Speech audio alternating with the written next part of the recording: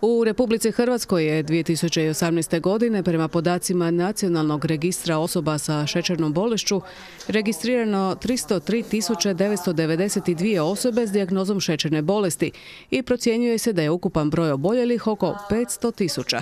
Među njima je Nikola Subotić koji boluje od dijabetesa 9 godina. Ja nisam dijabetes ni osjećao prije. Nakon što sam operiran u miokard, onda se pojavili problemi jer nisam nikad ni, od čega bolovo. Ovo sam slučajno otkrio da imam, operirao i onda je nastali problemi sa od tog šoka valjda počelo je šećer da se primjećuje na onim kontrolama. Svake godine se kontroliše krv radi ovoga prvoga, a onda je došlo i ovo drugo. 90% svih oboljelih su osobe sa tipom 2 šećerne bolesti.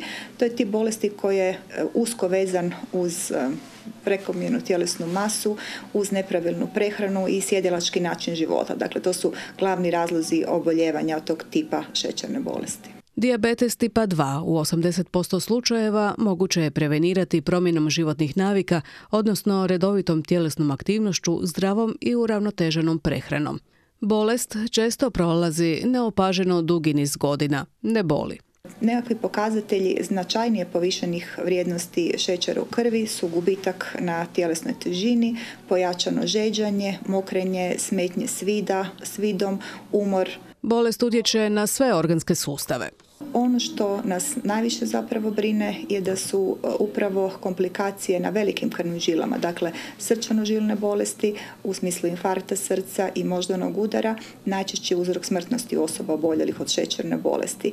E, I upravo zbog toga e, je danas poznato da je šećerna bolest četvrti najčešći uzrok smrtnosti u Republici Hrvatskoj. Oboljeli od dijabetesa u Riječkom KBC-u na poliklinici na prvom katu u dnevnoj bolnici za endokrinologiju, dijabetes i metaboličke bolesti mogu dobiti edukaciju kako što uspješnije živjeti s tom bolešću koja utječe i na njihove obitelji. Putem uputnice D2 od obiteljskog liječnika, znači pacijenti se kod nas mogu educirati, a isto tako nakon toga i reeducirati. Edukacija traje pet dana, obično od ponedjeljka do petka. Pacijenti e, uče pravilnu aplikaciju inzulina, pravilno mjerenje šećera iz prsta, isto tako ovdje slažu namirnice, odnosno jelovnike, učimo o hipo i hiperglikemiji kao i o njezi oboljelih.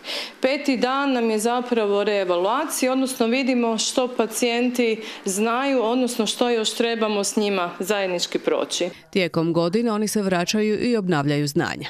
Milorad Baljak boluje od diabetesa 21 godinu. Mogu vam reći da sam puno toga naučio u ovih nekoliko dana. E, personal ne znam kako je njima s nama, ali oni su super. Primam insulin četiri, e, četiri puta dnevno, uzimam bazni insulin i tri puta brzi, brzo djelujući. Minka Kajtazović doznala je da boli od diabetesa u lipnju ove godine. Neke stvari sam nove otkrila koje i nemamo priliku saznati baš u bolnici jer nemaju vremena da se bave sa svima nama. E, otkrila sam same greške koje radimo doma i u vezi higijene i u vezi vađenja krvi. Bitno mi je tu što nas uče posložiti jelovnik, pravilno. Ovo dosta što sam čuo je za mene prvi razred. Učim se pisati. A to je znači da dobio neka saznanja koja nikada prije ni čuo, ni vidio, niti mi ko to rekao. Kakve, kakve informacije dobivate? Od doziranja lijeka, kako? Da li prije jela, poslije jela, gdje dati inzulin. Dosta vremena sam potrošio tukući inzulin tamo gdje nisu smio.